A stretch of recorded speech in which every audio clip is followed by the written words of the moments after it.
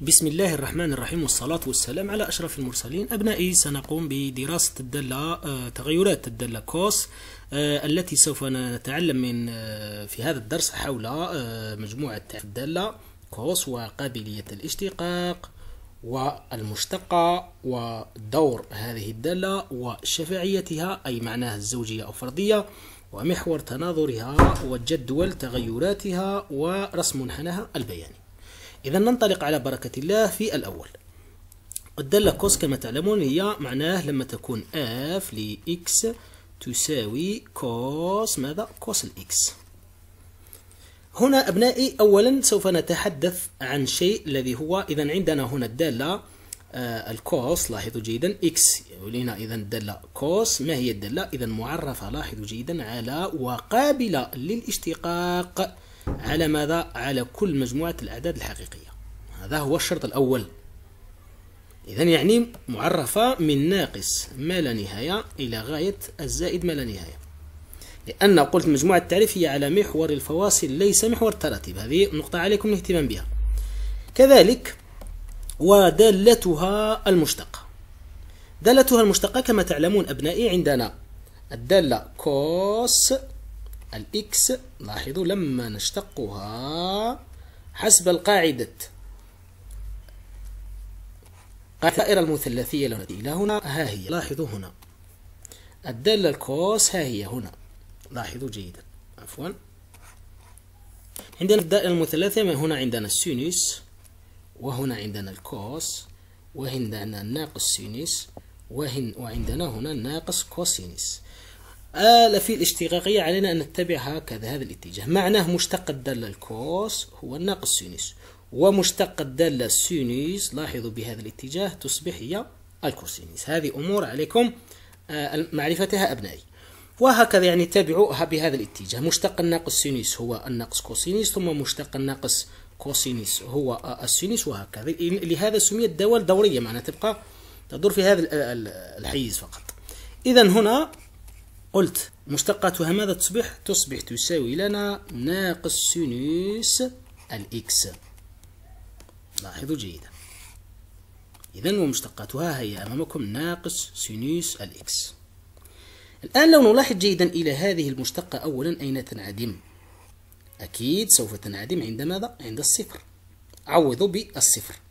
يعني تصبح ناقص sinus الصفر. ما هو؟ هي هو الصفر.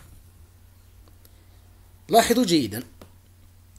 وتنعدم أكيد عند ماذا؟ عند ال pi لو نقول ناقص sinus لاحظوا ال pi كم؟ كذلك هو الصفر. لكن بما أن هذه الدالة سوف نتعلم عن خواصها نلاحظ جيدا. أولا لو نأتي إلى دالة ال sinus لاحظوا هنا الصفر. ركزوا هنا حتى تعلموا أبنائي. الصفر وهنا ال pi على اثنان. أكيد sinus الصفر كم؟ هو الواحد. و sinus pi آه عفوا cosinus الصفر هو الواحد. و cosinus آه ال pi على اثنان هو ماذا؟ هو الصفر. لو تأتي ونأتي إلى هنا يعني نلاحظ هل هكذا بهذا لاحظوا هل الآن الكوس ينقص أم يزيد؟ هنا كان الواحد والكوس دائما يقع على محور الفواصل. هنا لو تلاحظون أصبح ينقص. ثم نكمل عملية الدوران. لاحظوا ها هو يزيد في النقصان. ها هو إلى أن وصل إلى الصفر. ركزوا. ثم من هنا ها هي تكمل لاحظوا إلى الكوس. لاحظوا قيمها أصبحت سالبة. هل هي تزيد أم تنقص؟ لاحظوا جيدا. هي تنقص لأنها ماذا أصبحت هنا؟ الناقص واحد. هنا الصفر في هذا المكان صفر. ثم أصبحت تنقص تنقص تنقص. إذا الدالة من هذا المجال اللي هو من الصفر إلى البي كيف تكون أبنائي؟ من الصفر إلى ال pi الدالة ال cos كل القيم أصبحت تنقص. يعني الدالة من الصفر إلى ال pi هي دالة متناقصة. نتابع جيدا. إذا ماذا قلت؟ قلت لاحظوا هنا تكون كم أبنائي؟ نتابع. لاحظوا هنا كم يكون؟ عفوا. هنا يكون آه، في هذا المكان هنا كما أوضح هنا يكون واحد ال cos ثم يصبح ينقص ال cos ينقص ينقص ينقص إلى أن يصبح هنا. كم؟ ولاحظ أن هنا يكون ال cos صفر يعني أصبحت كأنما ال cos تنقص. لاحظوا ها هي تناقص. ثم ماذا أصبحت؟ لاحظوا ها هي أصبحت هنا الصفر هنا أصبحت القيم لل cos كيف هي؟ إنها سالبة يعني ما زالت قيمها تنقص. ثم أصبحت تزيد في عملية لاحظوا النقصان هكذا هكذا إلى أن وصلت إلى ال pi إلى ال pi كم تكون؟ تكون القيمة اللي هي ناقص واحد. هكذا. إذا ماذا يمكن أن نقول؟ نتابع أن الدالة ال cos من ماذا؟ من الصفر إلى ال pi هي دالة متناقصة. سوف نلاحظ إلى خواصها كيف تدرس. هنا أردت أن أوضح لكم هذه الأشياء. إذا نتابع. عندنا خواص أو من خواصها الأساسية. أولا في الخواص الأساسية أبنائي نتابع. هنا للخواص عندنا هذه الخاصية الأولى. من أجل كل x من R يعني مجموعة تعريفها فإن لاحظوا x زائد اثنان pi وماذا؟ و cos x زائد اثنان pi تساوي cos x cos x زائد اثنان pi تساوي cos x ما معناها؟ نتابع جيدا لو نأتي إلى الدائرة المثلثية حتى تتعلموا أبنائي لأن هذه ال cos وال sinus لها علاقة كبيرة مع الدائرة المثلثية. لاحظوا جيدا. لو نأتي الآن ونقوم, ونقوم بتعيين هكذا تعيين زاوية معينة. إذا سمينا هذه الزاوية هي ال x لاحظوا أبنائي لو نأتي ونأتي بتدوير. يعني من هنا بالزاوية P إلى غاية هذا المكان. نلاحظ جيدا لكن هو قال كم؟ اثنان بي نتابع. لاحظوا لاحظوا لاحظوا. اثنان بي اللي هي دورة كاملة. رجعنا إلى نفس الزاوية. ما معنى رجعنا إلى نفس الزاوية؟ معناه cos ال x هذه الزاوية زائد دورة كاملة اثنان pi هي نفسها تبقى لنا إذا كانت هذه هي القيمة هي ال cos للزاوية بعد اثنان pi تبقى نفسها هي ال cos x يعني لم نقل cos x زائد X زائد ثلاثة pi لا قلت اثنان pi إذا ماذا يمكن أن نقول؟ على هذا الاثنان pi. نقول لاحظوا جيدا ماذا سوف نقول؟ نقول هذه الخاصية. تابع جيدا. إذا الدالة cos دالة كيف هي؟ دورية دورها اثنان pi. إذا يكفي دراستها على مجال ماذا؟ من ناقص بي إلى بي. يعني من ناقص 3.14 إلى 3.14 على محور الفواصل إذا الدالة كيف هي؟ دورية. الأمر الثاني. ما هو الأمر الثاني أبنائي؟ نتابع. كذلك عندنا خاصية الأخرى. من أجل كل X من R فإن. وناقص X من R فإن cos ناقص X يساوي لنا cos X هذه لو نلاحظ هذه الخاصية لمن؟ ما هي الدالة التي إذا قلنا F لناقص X يساوي F ل X هذه خاصية ماذا؟ لو تتذكروا أبنائي هي خاصية الدالة. كيف هي؟ الزوجية. ربما سوف نوضح ذلك على الدائرة المثلثية لو جئنا الآن أبنائي وقمنا بتعيين زاوية هنا ونسميها هذه الزاوية ناقص X هذه ناقص X لاحظوا إلى ال cos. cos الزاوية ال X هو على محور الفواصل هو هذا. هذه الزاوية لو نلاحظ جيدا cos ناقص X هو نفسها منطبق. لهذا قال cos الناقص X يعني الزاوية السالبة هذه بالاتجاه السالب تساوي لنا cos ال X معنى هنا نأخذ مثال cos pi على أربعة يساوي لنا cos ناقص pi على أربعة. هي الزاوية خمسة وأربعون درجة. لهذا هذه الخاصية يعني للدالة الكوس إنها دالة زوجية. إذا بما أن الدالة زوجية إذا هذه الخاصية الثانية اللي هي دالة زوجية شفعية. الدالة الزوجية ما هي خاصيتها؟ أنها تقبل محور الفواصل كمحور التراتيب كمحور تناظر لها. ليس كمركز تناظر إنما محور تناظر. نتابع. إذا الدالة الكوس دالة زوجية أي منحناها البياني يقبل حامل محور التراتيب كمحور تناظر. هذا هو شرطها أبنائي يعني لو نأتي إلى هنا إلى هكذا عفوا نأتي إلى هذا المعلم. إذا قلنا أنه هذا هو النقطة أو هذا المحور إذا كانت من هنا مثلا هكذا يكون متناظرة هكذا على هذا المحور اللي هو محور التراتيب الذي أوضح هنا باللون الأسود. الآن بعد ما قلنا أن الدالة من الصفر إلى ال pi متناقصة. قلنا أنها زوجية. قلنا دورها اثنان pi يعني يكفي دراستها من ناقص pi إلى pi فقط. قلنا محور آه محور آه التراتيب هو محور تناظر لها. هذا هو الأمور التي عرفنا على ما بقيت لنا الآن؟ غيرتها أو جدول تغيراتها. في جدول التغيرات هنا أبنائي نلاحظ جيدا. قلنا يكفي دراستها من ناقص pi إلى pi على محور الفواصل معناه من ناقص 3.14 إلى 3.14 نتابع جيدا بالتقريب يعني. ها هي أمامكم. ال X هذا محور الفواصل. هذا هو محور الفواصل هو قيم التي تكون على محور الفواصل X X فتحة من ناقص pi إلى pi ثم دورها سوف نتحدث عن كيفية الرسم. نتابع جيدا. ها هي المشتقة. ال sinus أين ينعدم؟ ينعدم عند الصفر. ها هي أمامكم. وقلت هذا أن ال sinus ينعدم عند الصفر. من الصفر من الناقص pi إلى ال pi كيف تكون الدالة؟ تكون متزايدة.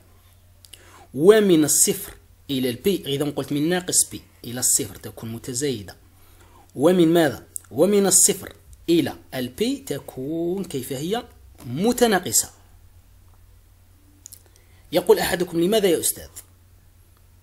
لو نأتي الآن إلى الزاوية إلى إلى إلى هذه قلنا هذه هي المشتقة اللي هي sinus ال X ال sinus لو نلاحظ جيدا هنا من الصفر إلى ال pi على اثنان. من قلت من الصفر إلى ال pi على اثنان تكون متزايدة. ها هي الدائرة المثلثية حتى تتوضح لكم الأمور لاحظوا. لم نتحدث عن ناقص sinus لاحظوا إلى ال sinus ثم نتحدث عن ناقص sinus معناه هنا من الصفر. ها هو الصفر وتزيد. نلاحظ أن قيمها تصل إلى الواحد. ال sinus هنا يكون الواحد. من الصفر إلى ال pi على اثنان تكون متزايدة لكن لا تنسوا أنه عندنا ناقص sinus ال X معناه تعكس. معناه من الصفر إلى ال pi على اثنان تكون متناقصة. وهنا نلاحظ جيدا لو نكمل المسير هكذا. كيف تكون؟ تصبح أنها متناقصة. لكن لاحظوا بما أنها متناقصة هكذا ذي ال sinus لأن قيمها هنا تكون واحد ثم تصبح هنا الصفر لكن بما أن ضربت في الناقص تصبح من هنا هذه الناقص سينوس كيف هي؟ تصبح متزايدة. لا أتحدث عن السينوس إنما عن ناقص سينوس يعني أعكس كل شيء. لهذا كيف تصبح؟ ها هي كما ذكرت لكم. إذا هنا من الصفر إلى البي على اثنان. لاحظوا. هنا قلنا تكون متناقصة وكذلك من الناقص pi إلى الصفر تكون متزايدة. لهذا لاحظوا جيدا كيف تتم العملية. ها هي الصور. الصور أن ال cos تنطلق. لو نأتي إلى جدول التغيرات ونقوم بعملية الملء ناقص ال pi ما هو ال cos؟ ال cos هو ناقص واحد. وعندنا الصفر. كم يكون؟ يكون الواحد. وعندنا كوس البي يكون ناقص واحد. تحدثت قلت عن إشارة لاحظوا جيدا هنا حتى يعني. ها لم أت... هنا ما هذا الشيء الذي كنت أشرح فيه؟ عن إشارة المشتقة. أما القيم التي تأخذها الدالة لاحظوا ها هي أمامكم. هي التي هنا بالأسهم الحمراء. حتى يعني لا تختلط عليكم الأمور أبنائي. الآن بعد ما قمنا بتعيين جدول. التغيرات سوف نأتي الآن إلى الرسم. في الرسم هنا علينا أن نتابع جيدا كيف تتم العملية. تابعوا سوف نقوم بتصغير هكذا حتى تتضح الأمور. ثم نبدأ أولا بما أن نأتي أولا إلى ها هي أمامكم. الدالة كيف هي؟ الدالة زوجية. يعني الأو يصبح هو محور تناظر. لاحظوا من الصفر. لاحظوا من الصفر. إلى إلى البي الدالة متناقصة. ها هي أمامكم. الدالة كليا متناقصة. ها هي. لاحظوا جيدا. إلى غاية هنا. لاحظوا أعيد. ها هي أمامكم. لاحظوا هكذا. كما هنا أوضح بلون آخر. ها هي باللون الأخضر. إلى غاية هذا المكان. من صفر إلى pi اللي هي ثلاثة فاصل أربعة عشر. يكون هكذا أبنائي. ثم ماذا قلنا؟ قلنا أنه ال Y محور تراتيب Y Y فتحة هو محور تناظر. هذا هو ال Y Y فتحة. اللي هو محور تناظر. معناه يكفينا أن نناظر المنحنى على محور التراتيب. هكذا أبنائي لاحظوا كل شيء يناظر. كل نقطة أصبحت تناظر تناظر تناظر إلى غاية هذا المكان. لاحظوا. هكذا. ها هي قد ناظرنا سوف نناظر من هنا. هكذا أبنائي. فقط. ثم كذلك تكمله من هنا ويمكن إكمال من هنا. لكن الدور قال هو من ماذا؟ من ناقص P إلى غاية البي هذا هو الدور. يعني يكفي دراستها من ناقص P إلى P فقط.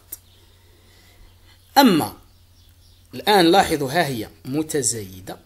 ها هي أمامكم متزايدة. ثم أصبحت كيف هي؟ متناقصة. وتحدثنا على إشارة هذه العبارة. قلت ال sinus من الصفر إلى ال pi على اثنان تكون متزايدة لكن لما تضرب في الناقص تصبح متناقصة. هذا لحتى تتوضح لكم الأمور.